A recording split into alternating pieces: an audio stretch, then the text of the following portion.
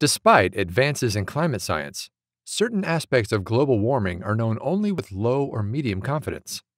Among some of the most important are the height of the troposphere, the part of the atmosphere where weather occurs, and the poleward movement and weakening of atmospheric circulation.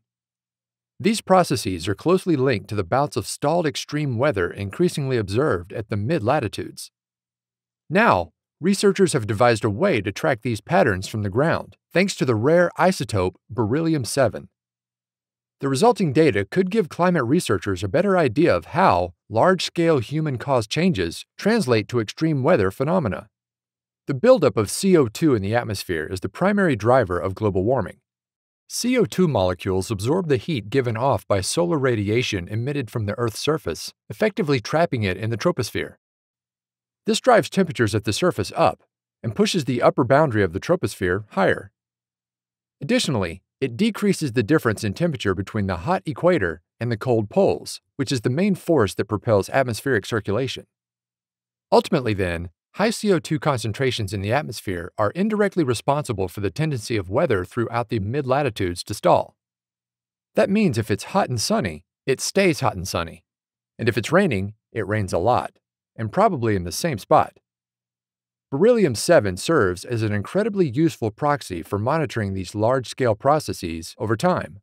Because you tend to find more of the isotope the higher in altitude you go, a rise in the tropospheric ceiling, or tropopause, leads to higher beryllium 7 concentrations measured at the Earth's surface. And since isotope uses the downward flux caused by large scale flow divergence, like a highway into the troposphere, researchers can use beryllium 7 concentrations to chart circulation patterns. Such is the case for the interface between the tropical Hadley cell and the mid latitude Ferrel cell, for example, which strongly influences the formation of global jet streams. In linking atmospheric CO2 to extreme weather and explaining the forces behind unseasonably hot weather, persisting not just regionally but worldwide, beryllium 7 tracking is revealing the effects and consequences of global warming.